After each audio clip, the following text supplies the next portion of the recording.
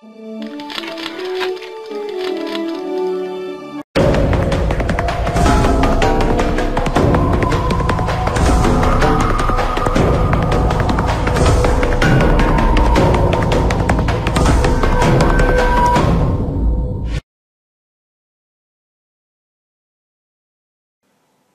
is up guys, Doc Redstone here, and I am here today with a, another custom creation real quick for you. But uh, this custom creation is all made possible because of a new way pistons work, I do believe. I don't think pistons worked like this before. Um, so as you can see, I have a line of redstone dust block here and a piston.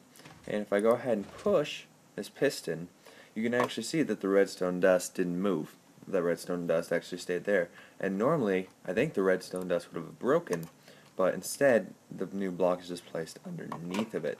However, if you use an invalid block such as glass, go ahead, then it breaks the dust. However, using a valid block, such as, you know, smooth, or uh, the stone bricks, goes ahead and keeps the dust there. This same principle also applies to uh, torches and uh, redstone torches. So because of that, I was able to create this. And uh, it probably could be a bit more compact, probably not much. But uh, the reason this creation is possible is because of that bug. And uh, basically what this is, is a for loop.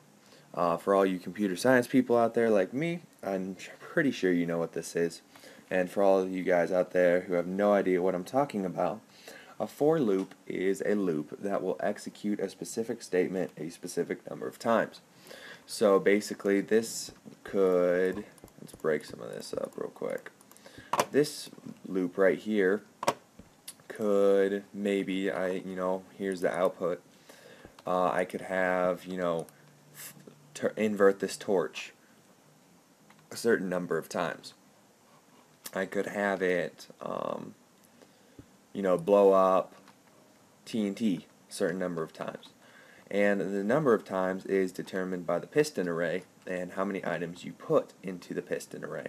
So right now I actually have a glass block and nine stone bricks, which basically will execute nine times before this piston, uh, or before this for loop will stop. So, go ahead and start it and I'll show you guys what I mean. And I actually will hook up this output here so you can see what it does. And go over here and start up this timer so basically as you can see every second this torch will be inverted and after 9 seconds the torch will this loop will cease to operate so go ahead and let it do that. And as you can see, we're on 8 and bam, 9. And because I used a glass block, it actually broke this redstone and now nothing will go through that loop. So it has operated 9 times.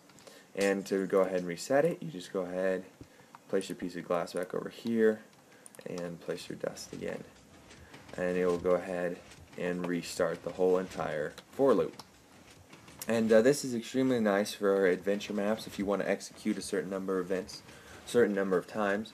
Um, you can do this all the way up to 25 seconds um, because the bottom row can push 13 blocks, the top row can push 13 blocks minus a block for the glass, so you can do a 25, um, basically a 25 second loop.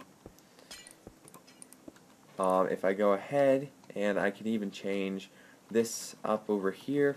Um, I actually have to keep these about at this uh, one second delay in order for the uh, pistons to work. So anyway guys, I thought this was kind of a cool creation, especially for you adventure map dash more technical people. But anyway, this has been Doc Redstone guys. Please rate, comment, subscribe, leave a like for me. Really helps. Thanks guys. Doc Redstone. Peace out.